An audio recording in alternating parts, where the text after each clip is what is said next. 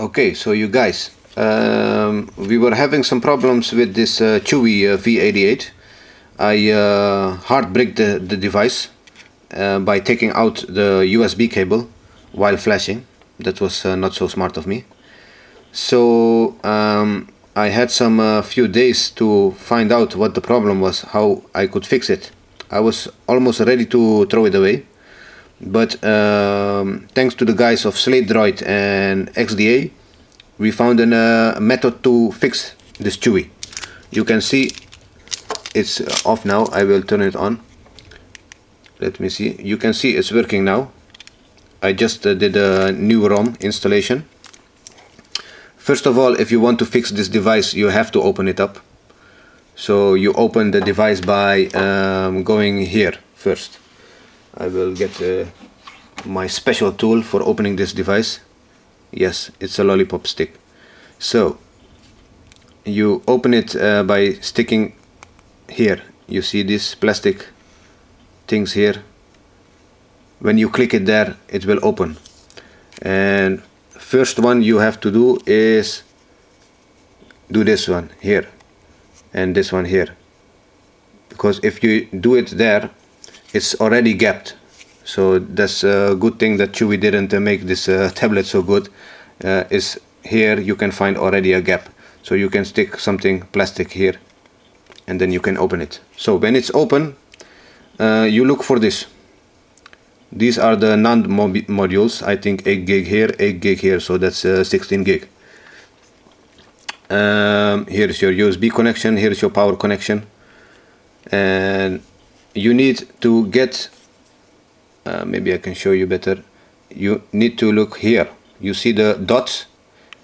This dot means this pin here is number one. So what you do from here you go from here to counting 1 2 3 to 7 8 or pins 8 and 9 for me what worked was pins uh, 7 8 you need to short those or short 8 and 9 when you short this you will uh, see that your um, Android tool is giving a message. I will show you now this Android tool. Um, I used this Android tool and I found it here at OMA's uh, ROM.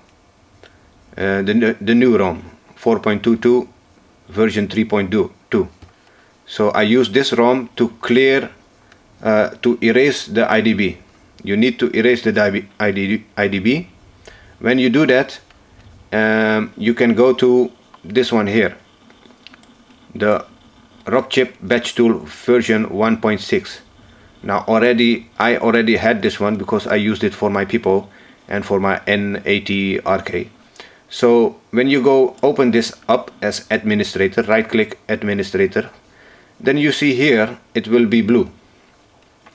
So when it's blue you can uh, load your your update load it and make restore and then it will start flashing. And when it's finished flashing it will take about maybe four minutes five minutes. When that is done your Chuwi will be live again. So let's go back to the Chuwi. Um, you can see then that the Chuwi will be uh, um, in the tool you can see it's installing. So the most important thing of this is to try to short the correct pins.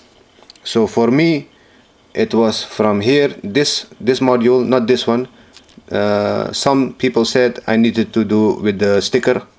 So this sticker was on here. So I tried first this but it didn't work for me. So for me I don't know for you guys but for me it was this module this is number one and count from here. So when you do it correctly your Chuwi will be alive again and you can use your uh, Chuwi as you would have before you messed up your uh, Chuwi. So this is a little bit of instruction video. So please uh, I'm uh, made this video to just to help you guys because you guys of Slatedroid and XDA helped me very good to fix this uh, Chuwi so bye bye for now. Thank you